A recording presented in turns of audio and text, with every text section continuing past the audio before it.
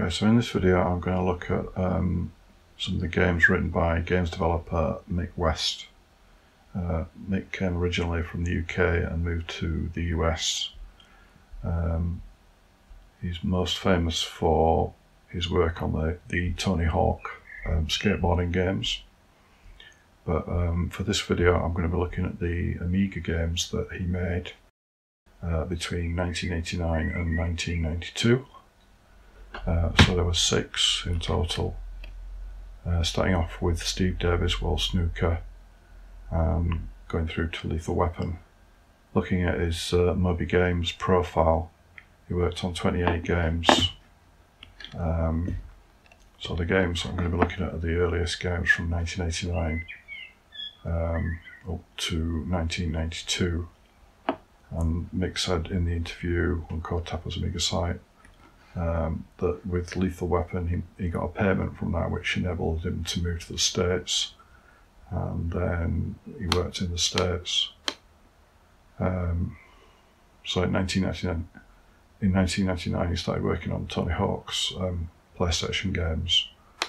And these are the games that um, he's probably best known for. But I'm going to focus on the Amiga games in this video. So kicking off with uh, Steve Davis Snooker. This was his first Amiga game.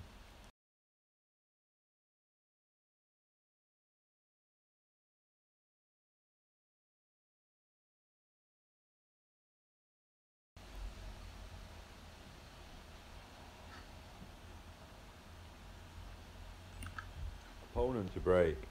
First of all, you choose the game type that you want to play. Um, the white ball um, allows you to put spin on the ball. And to start to kick off, you can put, uh, position the white ball, and then uh, click play shot, and then you would um, position the cue um, to, to choose the direction of the white ball, and then play a shot. Foul stroke. Steve Davis to play. So I've made a foul stroke and Steve Davis has kicked off and played the Foul black. stroke. Opponent to play. Okay, I'll try and do it without uh, making a foul shot. Okay. And Steve Davis's turn.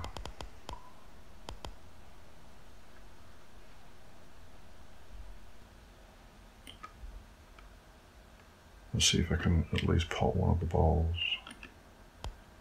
Another foul stroke. And potted the brown. Foul stroke. Steve Davis to play. Okay. Well, Steve's doing quite well. Moving quickly.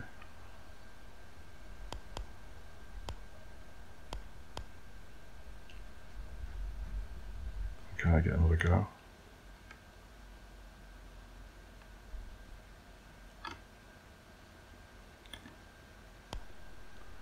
Okay, so get the get, get the idea. That's that's the first game and then uh, I'll move on to the next one. Okay, this is next game, uh, Rotox. Um, I have tried these games on the A500 Mini and they all worked okay. Um, but for purposes of the video, I'm going to be running them on an emulator and we'll see if they work okay on that.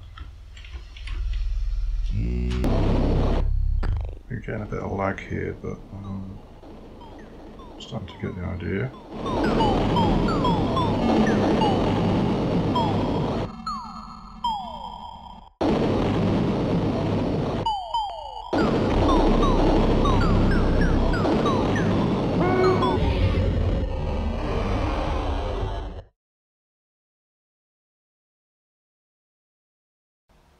This game looks kind of interesting, but I'm struggling to figure it out.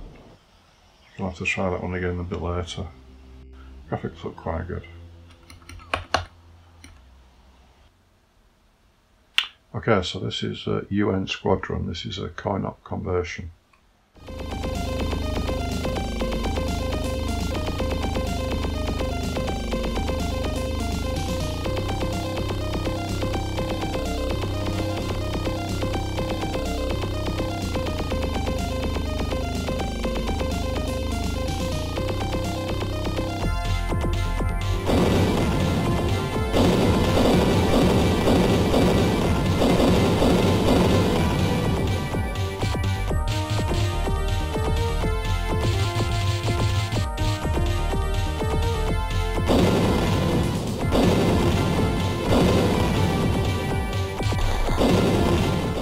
Lot going on on the screen on that game. Um, don't think it's working too well with the emulator.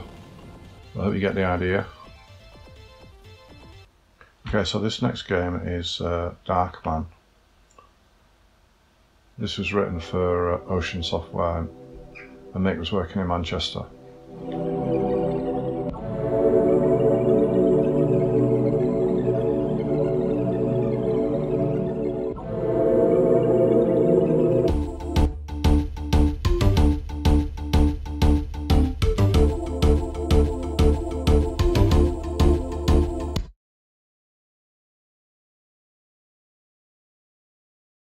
I think you have to uh, shoot the fella running across.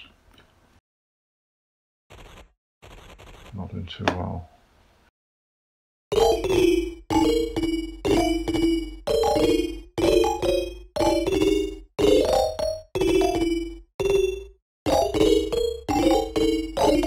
Insufficient data.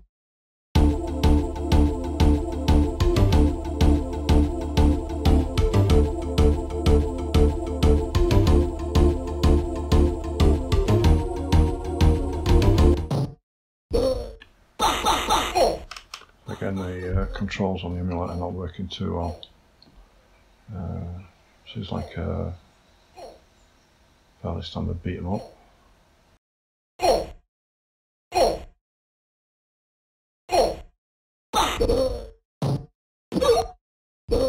You can pick up the what looks like blocks of wood.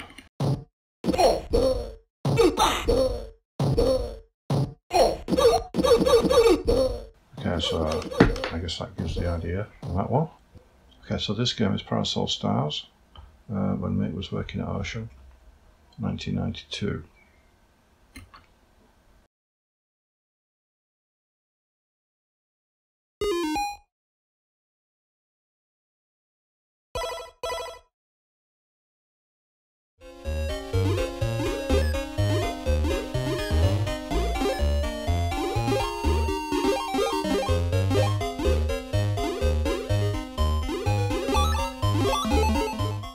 Yeah, this game was working pretty well on the F100 Mini, and again I've got some controller issues, but a nice looking game. Um, come back to this one, I think.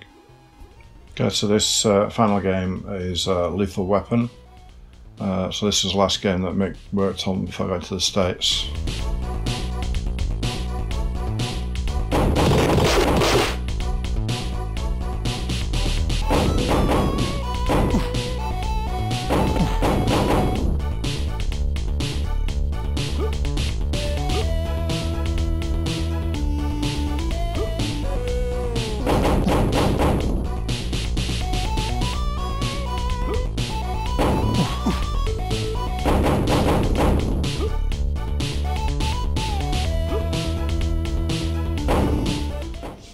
So that's uh, a quick uh, look at um, Mick's games on the Amiga.